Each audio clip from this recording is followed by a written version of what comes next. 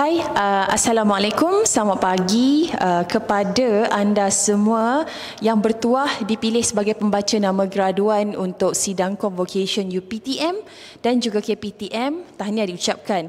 Uh, sebelum itu, kita pendekkan cerita sebagai salah seorang uh, pembaca nama dan juga MC yang uh, mempunyai pengalaman uh, menguruskan uh, pembacaan nama dan sebagainya.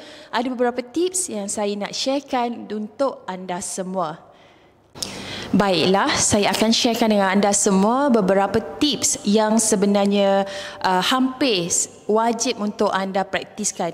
Okey, yang pertama, make sure ketika anda nak memulakan untuk bacaan nama graduan pastikan anda ada stamina.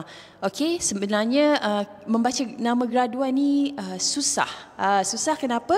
Sebab kita ada uh, peraturan-peraturannya dan anda perlu ada vibe dan semangat apabila membacakan nama graduan.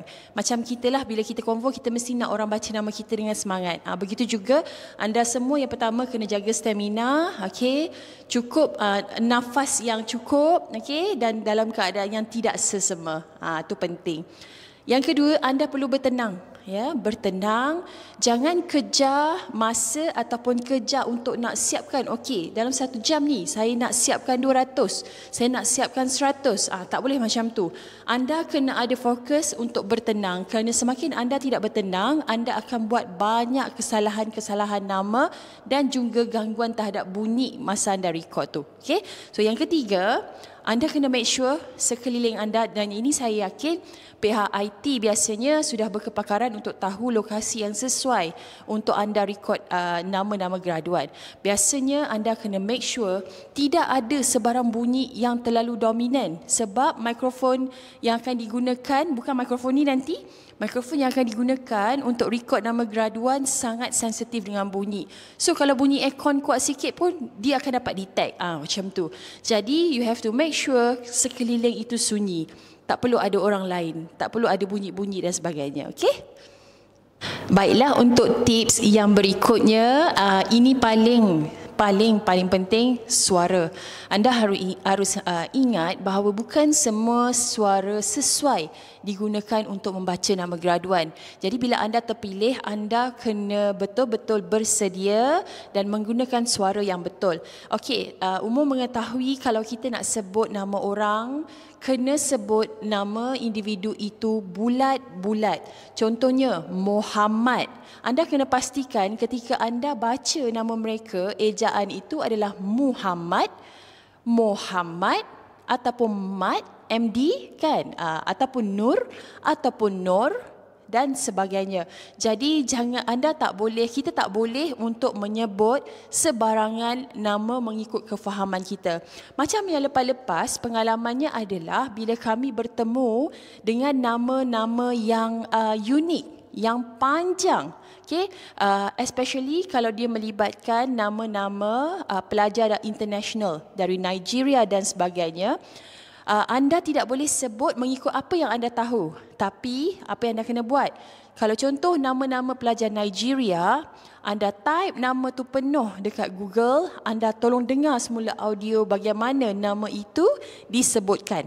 Uh, baru anda boleh sebut nama mereka dengan betul.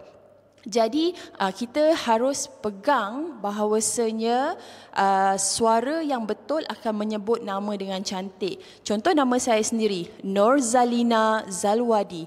Dalam setiap sebutan anda kena buka mulut anda betul-betul, gunakan suara perut dan tahan nafas ketika anda sedang bercakap.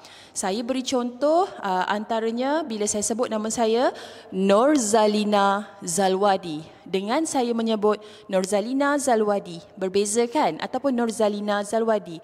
Kita perlu ada jiwa dalam menyebut nama seseorang itu. Sebutan biarlah jelas. Uh, huruf-huruf itu akan berbunyi dengan jelas. Especially yang mempunyai cabaran tinggi adalah nama-nama yang suka. Nama-nama Indian. Okay? Nama-nama uh, Nigeria dan sebagainya. Dan yang kedua adalah uh, suara anda tu bila anda cakap, okay, you have to make sure tahan nafas. Jangan anda bernafas serentak ketika anda bercakap. Nur Salina. Nanti dia akan dengar macam tu. Sebab mikrofon kita sangat sensitif. Dia akan tangkap segala bunyi. Dan selagi tak jadi, anda kena delete. Anda kena buat lagi, buat lagi dan buat lagi. Okay? Jadi saya harapkan uh, membantu anda semua. Okay, actually ini adalah antara tips yang terakhir. Okay, uh, anda, okay, bila kita sebut nama, uh, kita akan ada bin, binti, uh, anak perempuan, anak lelaki, anak kepada. Jadi, untuk langkah selamat, kita perlu standardize kan? Kita tak perlu guna langsung bin, binti dan sebagainya. Apa yang kita perlu baca? Misalnya, uh, nama Muhammad Faizal bin Hairi. Okey, sebenarnya namanya begitu. Tapi kita baca Muhammad Faizal Hairi. Uh, jadi uh, untuk membezakan Muhammad Faizal dan juga Hairi, nama ayah dia tu kita ubah sedikit kita punya uh, style pronounce. Muhammad Faizal Hairi. Nur Zalina Zalwadi. Bila awak post dekat nama Zalina tu, orang tahu nama dia berhenti di situ. Uh, inilah cabaran jika nama panjang. Contoh, Tengku Dalila Mustaf Tengku Dalila Emilia Natasha binti Tengku Ahmad. Okey, sebenarnya kita kena berhenti dekat mana? Kita kena berhenti dekat Natasha. Tengku Emilia Natasha, Tengku Ahmad. Uh, untuk membezakan perbezaan nama beliau dan juga ayah. Uh, saya harap anda clear, jangan berhenti di tempat yang tidak sepatutnya. Maksudnya kena post nama tu uh, di tempat yang sepatutnya baru orang akan nampak beza. Oh ni nama dia, ni nama ayah dia. Okey?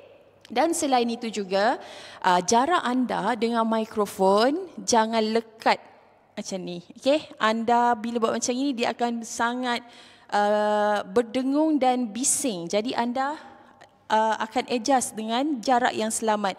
Dan kalau boleh biar semua pembaca nama graduan mempunyai jarak yang hampir sama supaya nama uh, sebutan anda clear. Okey? Um, ya, yeah.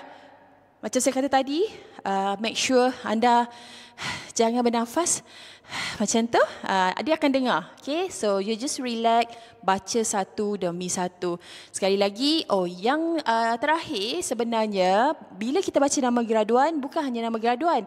Ada graduan yang dapat anugerah sampai dua. Okey, contoh. Nur Zalina Zalwadi, Anugerah Nilambai Duri, Anugerah Naib Chancellor. Okey, itu berlaku ya. Dia dapat dua anugerah. Jadi, bagaimana anda kena bertenang dekat part dia dan anda baca dengan pos yang sesuai. Nur Zalina Zalwadi, Anugerah Nilambai Duri, anugerah naib chancellor macam tu. Jadi saya harap membantu. Feel free untuk kontak saya sekiranya uh, berkeperluan. Jadi saya doakan semoga anda semua maju jaya. Terima kasih kerana membantu KPTM dan UPTM. Thank you.